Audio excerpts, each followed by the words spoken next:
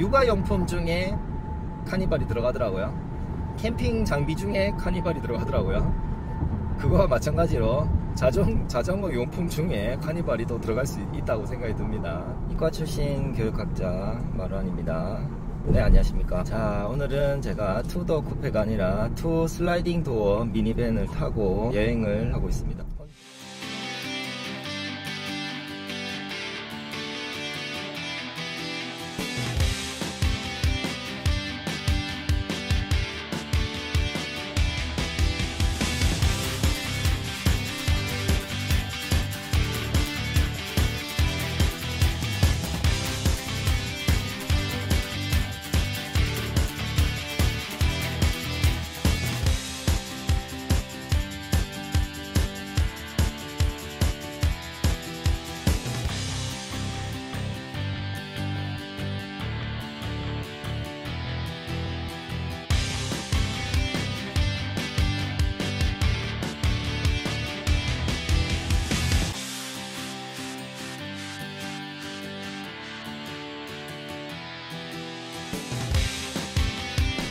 혼자만의 여행 예전에 한번 제가 고갯마루에 출연을 했을 때 헬멧에 캄파놀로 스티커를 붙인 걸 보신 고갯마루 구독자분께서 GR86 차주분이 자덕인가 보다 뭐 이런 댓글이 기억이 나요. 저는 오늘 그 자전거를 조금 소개를 드리면서 자전거 코스도 한번 말씀드리고 싶어서 차를 가지고 나왔는데요. 오늘은 자전거 탈 건 아니고 인상 깊은 곳을 한번 소개해 드릴까 싶어서요. 남자들이면은 다 자전거 다 좋아하는 줄 알았고 자동차 다 좋아하는 줄 알았는데 아, 제 생각이 짧았습니다. 남자라고 다 좋아할 필요는 없잖아요. 그렇지도 않고 생각보다 자동차에 관심 없는 남자들이 꽤 많다고 느꼈고 그 정도 아주 소수의 비율만큼 여자분들 중에서 또 자동차에 관심 있는 분이 그 정도 되는 것 같아요. 아무튼 뭐 대부분의 남자들이 좋아하긴 하죠. 자전거도 비슷하지 않을까 싶은데 막상 자전거를 취미로 하시는 분은 또 그렇게 주변에 많지는 않더라고요. 그 음악 학원 원장님과 찍었던 그 첫 번째 구독자 인터뷰에서 자전거 얘기 되게 많이 나왔었는데 드디어 제가 자전거 영상을 하나 찍었었고요. 아, 예, 옛날부터 한번 찍 고 찍고자 하는 거는 아, 도저히 지금 아직까지 어, 머릿속에 그림은 그려지는데 그 실천을 지금 못하고 있는 어, 컨텐츠가 하나 있습니다. 어, 일단 이제 시험 삼아서 자전거 영상을 한번 찍어봤는데 그리고 제 자전거 얘기도 조금 나눴었는데요. 자전거 얘기 조금 이어서 하자면 어, 본격적으로 이제 성인이 된 다음에 자전거를 취미로 한번 해봐야 되겠다라는 생각이 들었을 때 네, 먼저 탔던 그 친구들한테 한번 물어봤더니 취미로 할지 안 할지 모르니까 처음에는 보급형을 사봐라 뭐 이런 얘기 하더라고. 그리고 그때만 해도 사실 어릴 때 자전거 탄 게 전부니까 사이클 타기는 약간 부담이 되더라고요. 친구들은 사이클을 추천을 해줬는데 아 나 약간 좀 부담된다. 안 타본 거라서. 그러니까 그러면은 MTB로 보급형 한번 추천을 하더라고요. 그때가 2011년 정도 되, 됐어요. 지금부터 한 14년 전이네요.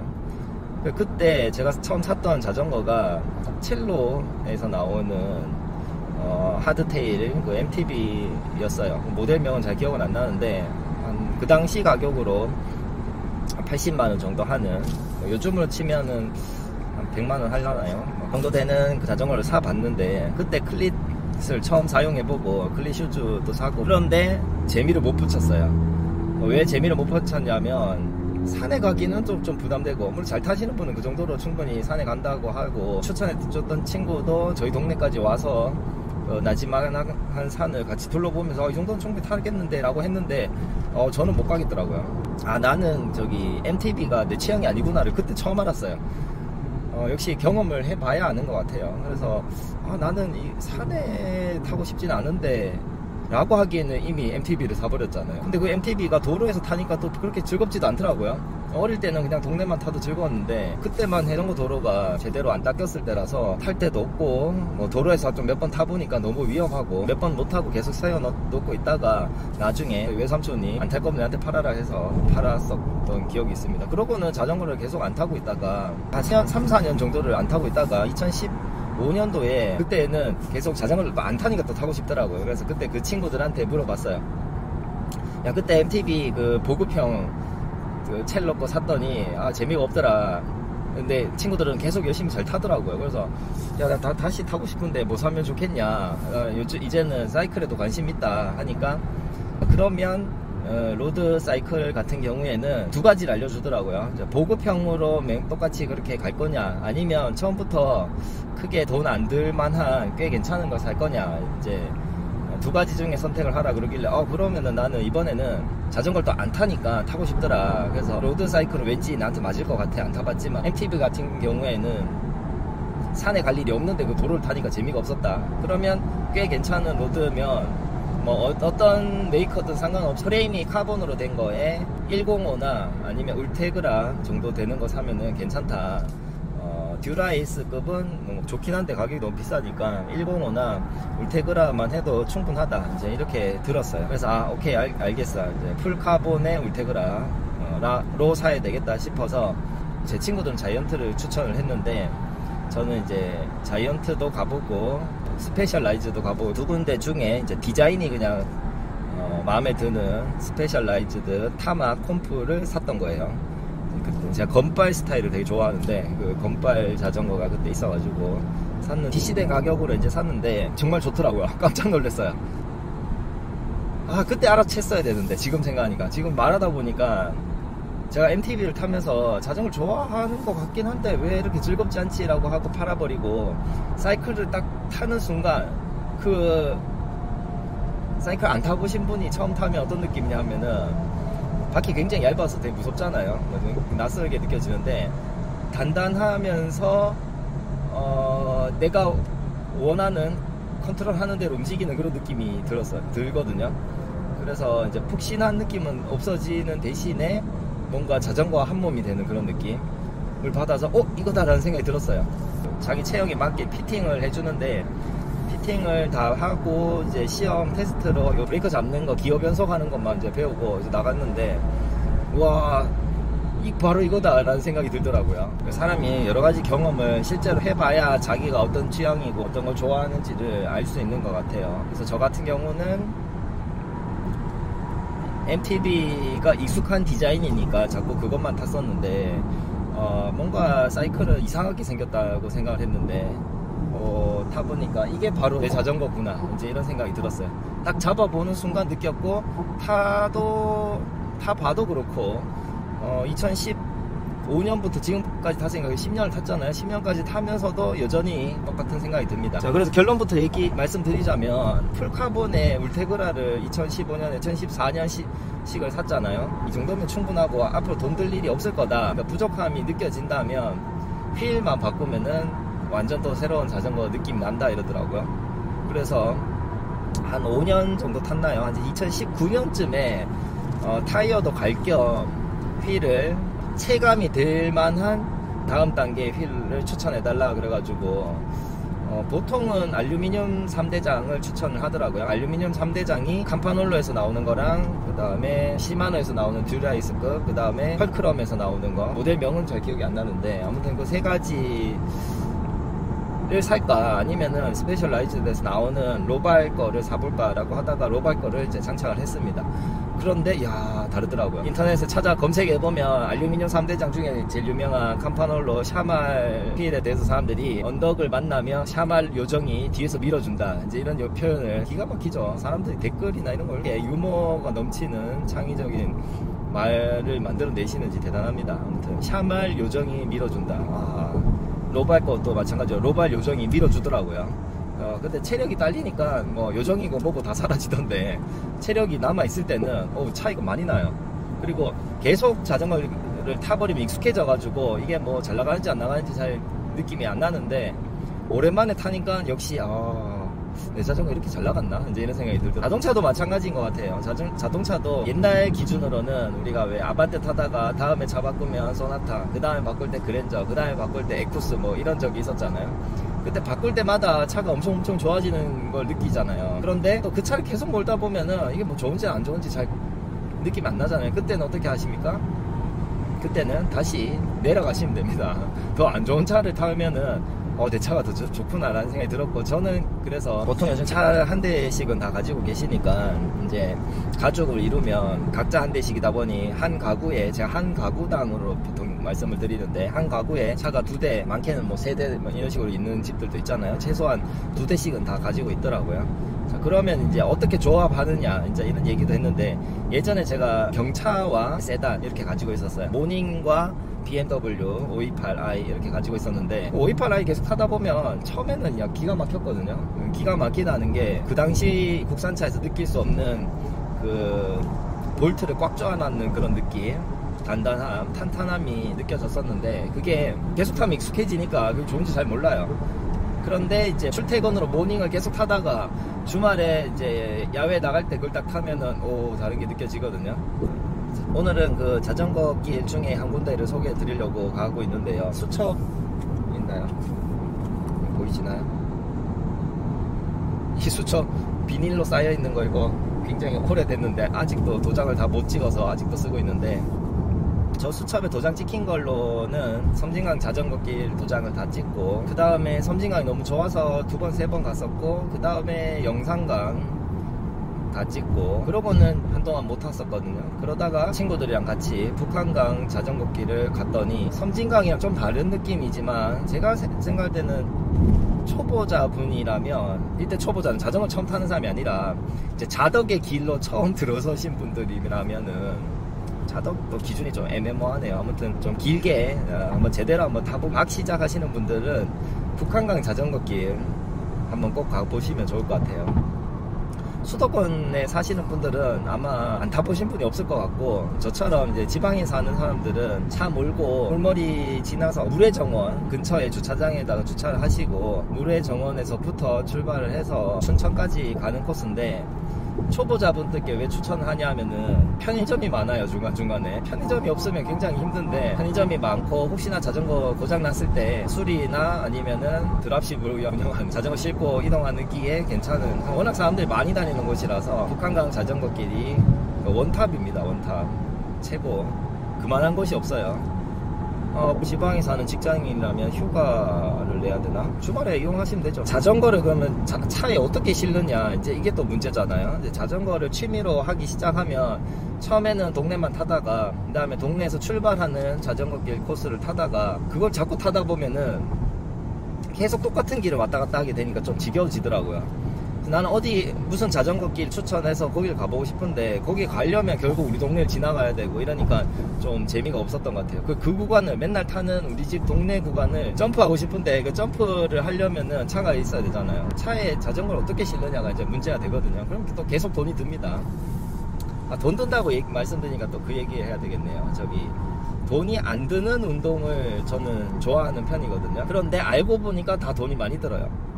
그래서 결론은 뭐냐? 취미 중에 돈 안 드는 취미는 없다. 어, 취미는 다 돈이 듭니다. 돈이 제일 안 들 것 같은 운동이 이제 마라톤 조깅 같은 거죠. 마라톤이 돈이 적게 드는 편인 거는 맞는데 자기 집에 있는 신발 아무거나 신고 뛰는 걸부터 시작을 하는데 결국은 마라톤화 러닝화 사게 되거든요. 그 가격이 또꽤 나가요. 그나마 그게 좀 덜 드는 거고 자전거는 자전거 구입비가 들어서 그렇지 이용료는 안 들잖아요. 제가 수영도 굉장히 좋아하는데 수영은 수영복 수영 팬티랑 그러니까 수경이랑 수영복 이세 가지만 있으면 되잖아요. 목욕 바구니, 목욕 용품 챙기고 그게 단데 문제는 이용료가 너무 비싸요. 한 달에 십몇만 원씩 나가니까 계속 돈이 드는데 자전거는 한 번 구입할 때 돈이 들어서 그렇지 이용료는 전혀 들지 않죠. 근데 문제는 뭐냐 하면은 자전거도 소모품이 있잖아요. 자, 자동차처럼.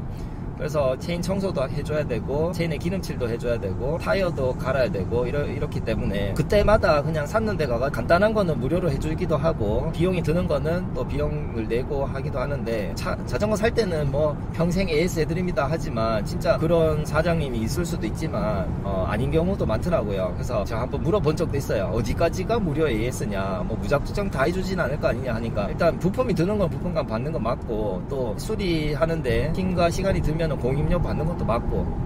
그럼 도대체 뭐가 무료냐. 저는 돈 받는 게 맞다고 생각하거든요. 자전거 한번 팔고 정말 계속 고쳐주면은 그 무슨 자선 사업도 아니고 뭐 그건 아니라고 생각을 하는데 팔 때는 이제 우선 팔고 싶은 마음에 평생 봐준다 이제 이렇게 얘기를 하잖아요. 그게 이제 어떻게 보면 점검을 해준다라고 이해하시면 될 것 같아요. 점검을 하고 아 여기 문제 있으니까 이걸 수리하는 데는 얼마 든다 뭐 이렇게 이해하시면 돼요. 자동차를 기준으로 하면 자동차도 어, 점검 자체도 뭐 회사마다 다르겠지만 BMW 같은 경우에 저 진단기, 진단기를 물려가지고 진, 이상이 있나 없는지를 평상시에 해달라 하면은 그것도 비용이 발생을 해요. 공임료를 받더라고요. 그런데 그 무상 기간이 아 진단기는 안, 안 하네요. 어쨌든 어, 진단해주는 걸 무상으로 해준 기간이 있어요. 그때 가면은 뭐 간단한 거를 이제 육안으로 보고 작자 아무 때나 가서도 뭐 해줄 수도 있겠지만 돈을 받을 수도 있는데 공식적으로는 무료로 해줄 때가 있거든요. 그것처럼 뭐 진단을 해준다 이 정도로 이해하시면 될 것 같아요. 그리고 간단한 거는 정말 정말 간단한 거는 해줄 수 있다는 거죠. 근데 그 정말 간단한 거는 본인도 할 수 있거든요. 나중에 내가 못하겠다 싶은 거는 가져가면 맹 비용이 들어요.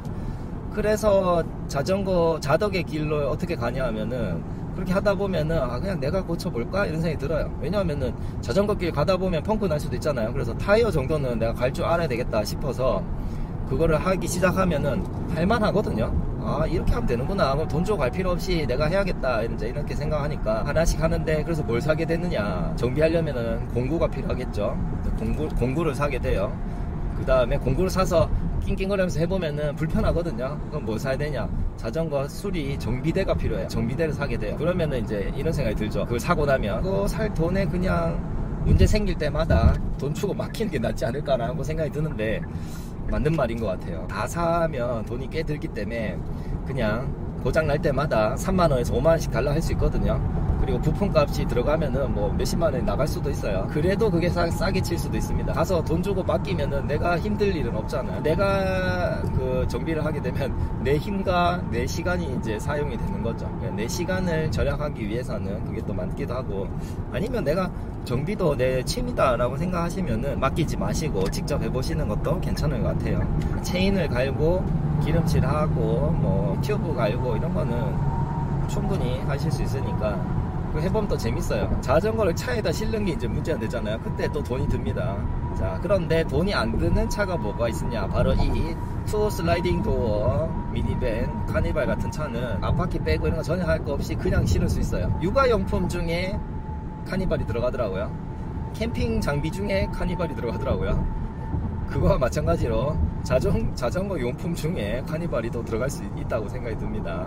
카니발이 다용도로 쓸 수가 있어서 그래서 국내에서 인기가 많은 것 같아요. 카니발은 뒤트렁크를 열고 그 복도에 그냥 쭉 넣으면 자전거 한 대는 그냥 들어갑니다. 그리고 이제 움직일 수 있으니까 4열에 있는 안 쓰는 안전벨트를 그 안장에다 이렇게 걸어 주시면은 양쪽으로 걸면 아주 안정적으로 잘 걸려 있어요. 자 그런데 보통 사람들이 카니발을 자전거 여행하려고 살 수는 없잖아요. 그래서 어, 있으시면 그렇게 이용하면 되는데 없는 사람들 입장에서는 현재 가지고 있는 차에 자전거를 어떻게 실느냐. 제가 모닝 가지고 있을 때도 아주 편했는데 모닝 뒷좌석에 앞바퀴 빼고 뒷좌석 승계 다리 쪽으로 있죠. 다리 공간 쪽으로 자전거를 놓으시면 페달은 의, 의자에 살짝 걸칩니다. 그렇게 이제, 이제 기울여서 넣으면은 그 길이가 모닝 폭이랑 거의 거의 비슷하거든요. 들어가요. 뭐 테트리스까지 아니더라도 이렇게 잘 맞추면 약간 대각선을 살짝 올리면은 어, 잘 들어갑니다. 모닝도 은근히 자전거 타는 용도로 아주 좋은 것 같아요. 그래서 어, 저처럼 자동차 좋아하시는 분이라면 어, 제가 요, 요 조합을 또 추천을 드리고 싶은 게 꽤 괜찮은 차를 하나 가지고 싶잖아요. 그래서 그런 차 하나 가지고 있고 그 다음에 이제 레이싱 같은 트랙을 뭔가 나도 가보고 싶다. 근데 큰 비용이 드는 건 싫다라는 분들은 GT86 이런 건 돈이 많이 들 수 있거든요. 정말 GR86 몰고 왔으면 재밌었겠네. 계속 마주치네. 그래서 저기 스파크 있죠. 스파크.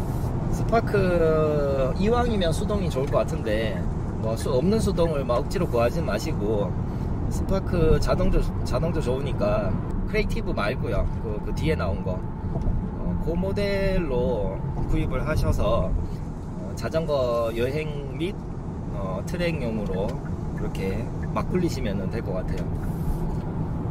저는 이제 경차로 10년 가까이를 모닝을 타서 더 이상 타고 싶지 않은데 경차 안 타신 분들은 예를 들면 대형 세단 쪽으로 그런 걸 쭉 타오신 분이 나도 뭔가 스포츠 같은, 같은 거 한번 타보고 싶은데 라고 느끼신다면 어, 스파크 같은 경차를 한번 몰아보세요. 그러면 가볍고 사뿐한 느낌이 좋다면 스포츠카랑 맞을 수 있다는 생각이 들거든요. 그래서 자전거 여행과 트랙, 어, 그 다음 사뿐한 느낌, 그 다음 경제적인 거, 모든 것을 고려했을 때 스파크가 제일 좋은 것 같습니다. 그래서 총각 기준으로 말씀드리자면 총각 여유로운 총각이라면 차 두 대를 이용할 때 좀 폼 나는 차 한 대랑 그 다음에 경차 스파크를 살 것 같아요. 저는 528과 모닝을 가지고 있었는데 이왕이면 스파크가 더 훨씬 좋은 것 같습니다. 그러면은 그것도 결국 차를 사야 되는 거 아니냐. 그거 말고 내 지금 있는 차, 내뭐 아반떼도 좋고 소나타도 좋고 그랜저도 좋고 아니면 뭐, 뭐 어떤 거죠? 뭐 골프 같은 것도 좋고 아니면 SUV 같은 차들도 좋은데 있는 차에서 자, 그 자전거 어떻게 싣느냐. 웬만한 차에는 아까 말씀드린 것처럼 모닝이나 스파크에도 들어가니까 웬만한 차 뒷좌석에는 들어가거든요. 근데 고급 차에다가 뒷좌석에 넣, 넣기 좀 아까울 수 있어요. 왜냐면 그 아까 말씀드린 것처럼 페달이 그 시트에 닿기 때문에 시트가 약간 손상이 갈 수도 있어요. 조심히 하고 거기에 뭐 수건 같은 거 잘 받치고 하면 괜찮은데 그냥 막 넣고 하다 보면은 기름때가 묻을 수도 있고 톱니 같은 데 긁힐 수도 있고 뭐 그럴 것 같아요. 어, 그래서 그런 게 싫다면은 이제 밖에다가 거치를 해야 되죠. 그, 그러려면은 이제 두 가지 방법이 있습니다. 뭐 툴레 말고도 다양한 회사에서 나오는데 제가 저는 이제 툴레 걸로 가지고 있는데 툴레 자전거 거치대가 두 가지 방식이 있는데 다, 다른 회사 것도 마찬가지예요. 하나는 그 tow에다 끼우는 방식이고요. 견인봉이죠. 견인봉에다가 끼우는 방식이 있고 그 다음에 견인봉이 없는 차에는 줄로 거는 방식이 있거든요. 저는 줄로 거는 방식의 자전거 거치대를 2015년 그, 그 당시 자전거 사고 어, 얼마 안 있고 바로 구입을 했었는데 그때 저는 이제 소렌토 차를 가지고 있었는데 그 소렌토에다가 뒤에 매달고 자전거 싣고 섬진강 그 다음에 영산강 뭐 이런데 많이 다녔습니다. 저 북한강 갈 때도 그 소렌토로 갔었고요. 자, 그래서 줄로 거는 방식이 좀 거추장스럽긴 한데 견인봉 없는 차 어떤 차에든 웬만한 차에는 다 거치가 되니까 다용도로 쓰실 수 있을 것 같고 깔끔하기로는 견인봉에다 끼우는 방식이거든요. 그 견인봉이 유럽식이 있고 미국식이 있는데 어, 미국식은 잘, 잘 모르겠고 유럽식이 이제 이렇게 볼록 튀어나오는 기어봉 같이 생긴 게 이렇게 어, 골, 갈고리처럼 이렇게 볼록 튀어나온 방식인데 그게 어, 볼보 원래 달린 차들 같은 경우는 안으로 접혀 있다가 버튼 누르면 밖으로 튀어나오고 이런 방식인데 어, 그런 원래 달린 차 말고는 우리 국산차 중에 간혹 보면 그 견인봉 작업해 놓은 차들 보면 계속 튀어나와 있거든요. 그래서 약간 그게 보기 싫을 수도 있어요. 후진할 때 뭔가 걸릴 것만 같고 약간 이런 느낌은 주는데 막상 달고 다니는 사람들은 아무 뭐 상관없다 하더라고요. 그래서 어, 그 진정 자덕의 길로 입문하신 분들은 견인봉 작업을 하시는 것을 추천을 드립니다. 그래서 아까도 말씀드린 것처럼 처음부터 제대로 된 거 사셔야지 어, 어정쩡한 거 사면 또 사고 싶다니까요. 제가 그 줄로 거는 방식이 다용도로 쓸 수 있는 거긴 한데 늘 말씀드리죠. 다용도는 뭐다? 제대로 되는 게 없다. 웬만한 게는 다 되는데 쏙 마음에 들게는 잘 안 된다. 이제는 얘기를 드렸습니다. 그래서 자전거에 한창 빠져 있었던 그 당시에 저는 볼보를 되게 사고 싶었어요. 그래서 볼보 V60이나 V90이나 아니면 또 여기 있네요. XC90. XC90을 사게 되면 반드시 견인봉을 달고 그 툴레 제가 가지고 있는 그 줄 거는 방식이 그건 중고로 팔고 그 견인봉에 장착해서 자전거 세대를 실을 수 있는 거 그거를 사고 싶었어요. 어, 그게 접으면 굉장히 깔끔하게 딱 접혀서 보관하기도 좋아요. 그 줄 거는 방식은 너무 그 보관할 때 자리를 너무 많이 차지해서 일반 아파트에 보관하기가 쉽지 않거든요. 견인봉에다가 거는 방식의 그거는 접으면 딱 그 무슨 캐리어 가방 큰 사이즈만하게 딱 접혀요. 그래서 그거를 사서 달고 싶어요. 썼거든요. 볼보에서 그 툴레를 툴레 제품을 볼보 악세사리로 정품으로도 나오거든요. 그래서 볼보를 사서 자전거 그거 하고 가족들이랑 여행 다니는 걸로 사고 싶었던 적이 있었어요.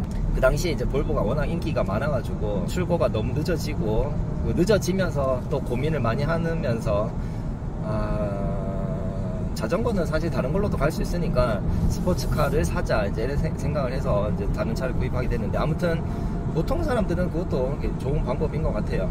자전거를 싣고 여행 가는 네 가지 방법. 첫 번째는 카니발에 그냥 실른다. 두 번째 스파크 괜찮다. 스파크. 그러니까 아예 어, 트랙도 한 번씩 가보시고요. 트- 스파크를 몰고. 네, 네, 장난감 같은. 그러니까 자동차도 정비도 좀 해보시고, 직접. 자가 정비도 해보시고. 자전거 타고 여행 다니는 용도로도 한번 써보시고. 자, 그런데 이제 이 두 개의 단점은 뭐냐면은 혼자 가야 돼. 자전거를 한 대밖에 못 싣거든요, 결국에는. 두 명은 탈 수 있지만 뒷좌석에다가 자전거를 한 대 실어버렸기 때문에 가서 뭐 한 명은 자동차로 점프해주는 뭐 그런 조수 역할을 해줄 사람이 아니고서는 사실 둘이 같이 즐길 수는 없잖아요. 그래서 이제 이- 그런 단점이 있는데 그러면 이제 출발지에서부터 어 같이 여행을 가서 그 여행지에서 자전거도 타고 같이 돌아오고 이거를 고려하신다면 이제 3번, 4번인 거죠. 3번, 4번이 결국 똑같은 건데 어, 견인봉이 있는 거 없는 거 그 차이죠. 어쨌든 자전거 거치대, 어, 툴레 등등의 회사 거를 이제 구입한다. 이건 이 네 가지 중에 한 가지를 이용하시면 자전거 라이프 스타일이 굉장히 화려해집니다. 어디든 이제 자전거 싣고 갈 수 있어요. 총각이거나 아니면 아직 아- 아기가 없는 신혼부부들한테 정말 적극 추천합니다. 너무 좋은 건강에도 좋고 그 다음에 자동차나 뭐 다른 걸로 여행했을 때 볼 수 없는 우리나라의 곳곳의 숨은 아름다움을 보실 수가 있어요. 정말 추천을 드립니다. 자전거 얘기는 이 정도 하면 될 것 같고 강천보에 가고 있는데요. 어, 한강 하류 코스에 아마 속하지 싶어요. 그래서 여주 다음 코스인데 거기 한번 들리고 그쪽 이제 경치를 한번 보여드릴까.